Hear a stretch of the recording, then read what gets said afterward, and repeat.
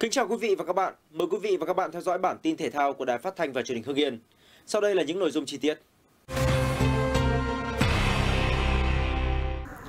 Để duy trì việc tập luyện thể thao thích ứng an toàn mùa dịch, nhiều người dân trên địa bàn thành phố Hưng Yên đã lựa chọn môn đạp xe để tập luyện hàng ngày.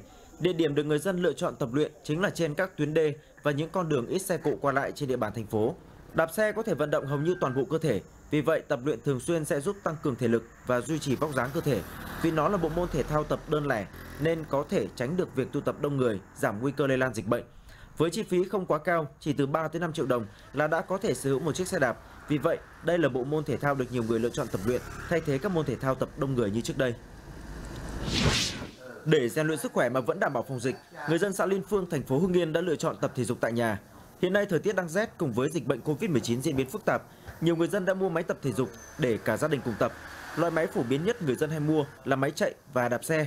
Với hai loại máy này, cả gia đình đều có thể thay nhau tập luyện, hạn chế việc ra ngoài tiếp xúc với nhiều người, đồng thời tránh được việc dậy sớm ra ngoài có nguy cơ đột quỵ.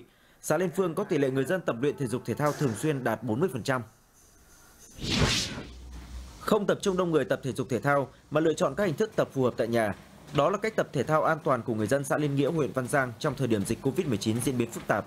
Với những nhà có điều kiện như nhà chị Lê Thị Lam thì mua sắm máy chạy để các thành viên trong gia đình tập hàng ngày. Còn chị Lê Thị Út và chị Nguyễn Thị Yến lựa chọn khoảng sân trước nhà để tập bài thể dục nhịp điệu vào buổi sáng và buổi chiều mỗi ngày.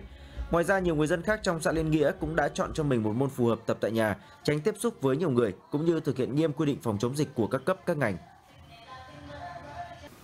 Thưa quý vị và các bạn, để khuyến khích và tạo điều kiện cho người dân có cơ hội tập luyện thể dục thể thao, những năm qua, thị xã Mỹ Hào đã không ngừng vận động, kêu gọi và phát triển công tác xã hội hóa các thiết chế thể thao.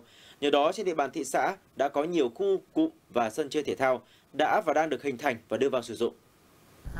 Đây là khu thể thao tổng hợp gồm sân tập thể thao tự do, sân bóng đá nhân tạo, nhà bóng bàn và hồ bơi tại tổ dân phố Sài, phường di Sử. Được xây dựng và đưa vào hoạt động từ năm 2017, khu thể thao tổng hợp trước thời điểm dịch Covid-19 bùng phát luôn thu hút nhiều người dân tới tập luyện.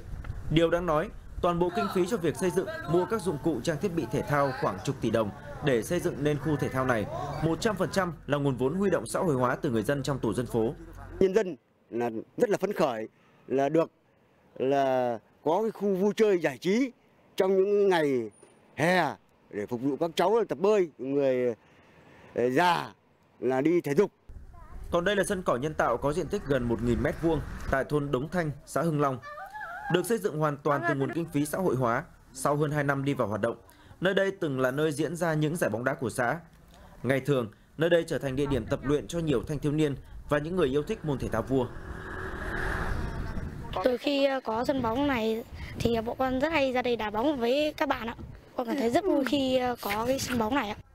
Hiện tại trên địa bàn xã Hưng Long có hai sân cỏ nhân tạo, một khu thi đấu bóng chuyền đã được xây dựng từ nguồn vốn xã hội hóa và đưa vào sử dụng. Ngoài ra, xã đã triển khai quy hoạch đất xây dựng các thiết chế văn hóa thể thao, đặc biệt ưu tiên tới công tác tuyên truyền, động viên và thu hút các nguồn lực xã hội hóa các sân tập thể dục thể thao. Những năm tới thì xã Hưng Long đẩy mạnh công tác xã hội hóa của địa phương để thêm à, để đầu tư thêm các công trình như thôn Đông Thanh để cho người dân đến tập luyện thể dục thể thao nâng cao sức khỏe. Ngoài xã Hưng Long và phường Dị Sử, trên toàn thị xã Mỹ Hào, phong trào xã hội hóa các thiết chế thể thao những năm qua được nhiều địa phương chú trọng thực hiện. Ước tính 80 tới 90% các xã phường đều có công trình thể thao xã hội hóa theo hai hình thức, nhà nước và nhân dân cùng làm và xã hội hóa 100%. Các thiết chế văn hóa xã hội hóa đã góp phần không nhỏ trong việc thúc đẩy phong trào thể thao quần chúng, nâng cao sức khỏe trong nhân dân. Có những xã phường làm rất tốt trong công tác xã hội hóa. Ờ, chúng ta có thể kể đến ờ, phường Vân, phường Bần Nhân Nhân, Dị Sử, một số xã À, như là Hưng Long, à, Hòa Phong. Xã hội hóa đã góp phần thúc đẩy cho phong trào thể thao của các cơ sở nói riêng và cũng như của thị xã nói chung à, phát triển. Những hình ảnh vừa rồi cũng đã khép lại bản tin thể thao tuần này của Đài Phát thanh và Truyền hình Hưng Yên. Cảm ơn quý vị và các bạn đã quan tâm theo dõi. Kính chào tạm biệt và hẹn gặp lại.